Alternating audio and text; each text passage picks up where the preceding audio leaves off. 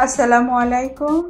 Welcome back to my channel আজ আমি আপনাদের সাথে মাছের লেজ আর লেজের দিকের যে বেশি কাঁটাযুক্ত পিস থাকে, সেটা দিয়ে একটা রেসিপি তৈরি করে দেখাচ্ছি। অনেকে আছেন যারা বেশি কাঁটাযুক্ত মাছের লেজ আর লেজের দিকের পিসগুলো অ্যাভয়েড করেন। কিন্তু এভাবে তৈরি করে দিলে দেখবেন কোনো অভিযোগ ছাড়া মজা করে খেয়ে নেবে। চলুন তাহলে রান্না শুরু করি। এই রান্নাটা করার জন্য আমি মাছের দুইটা লেজ আর লেজের দিকে দুইটা পিস নিয়েছি। আমি এটা মৃগেল মাছ দিয়ে করে দেখাচ্ছি, তবে আপনারা যে কোনো মাছ দিয়েই করতে পারেন। এবার আমি মাছের পিসগুলো মশলা দিয়ে মেখে নেব। এজন্য মাছে দিলাম সামান্য একটু লাল মরিচের গুঁড়া, একটু হলুদ গুঁড়া আর লবণ স্বাদ মতো। তারপর এভাবে ভালোভাবে মাছগুলোর সাথে মশলা মেখে নিচ্ছি। এভাবে খুব ভালোভাবে নুন, হলুদ আর লাল মরিচের গুঁড়া দিয়ে মাছগুলো মেখে নেব। এবার আমি প্যানে তেল গরম বসিয়ে দিয়েছি মাছগুলো ভেজে নেওয়ার জন্য। গরম তেলে দেওয়া হলো মাছ।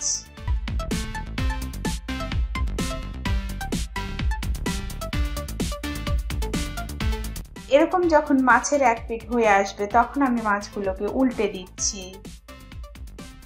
এবার একটু ঢেকে দিয়ে কিছু সময় মাছগুলো ভেজে নেব। তারপর এভাবে বারবার উল্টে দিয়ে দিয়ে ভেজে নিতে হবে।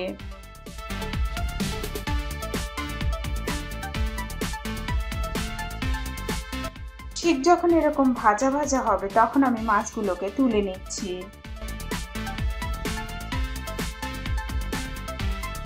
দেখুন, মাছগুলো যখন এরকম মোটামুটি ঠান্ডা হয়ে আসবে, তখন আমি মাছের কাটা বেছে নিচ্ছি।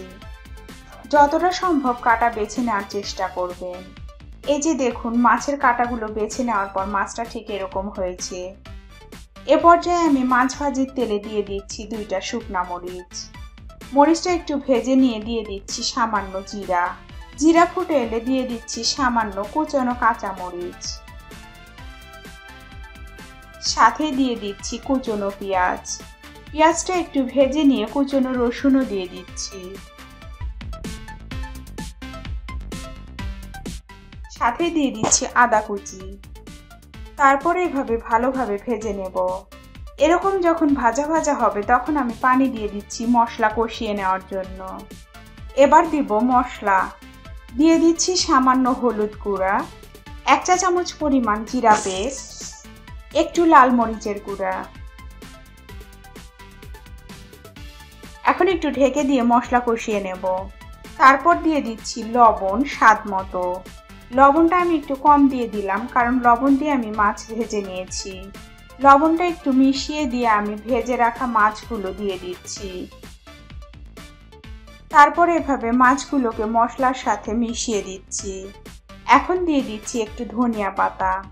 এ পর্যায়ে আমি খুব ভালোভাবে সময় নিয়ে মাছগুলোকে ভেজে নেব।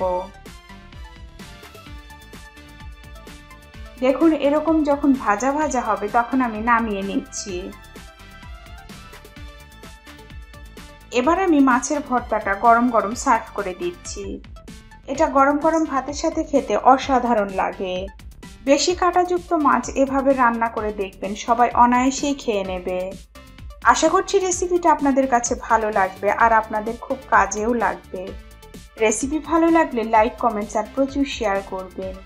এরকম আরও সহজ, মজাদার রেসিপি পেতে প্লিজ আমার চ্যানেলটিকে সাবস্ক্রাইব করবেন। সবাইকে অসংখ্য ধন্যবাদ। ভালো থাকবেন সবাই। আল্লাহ হাফেজ।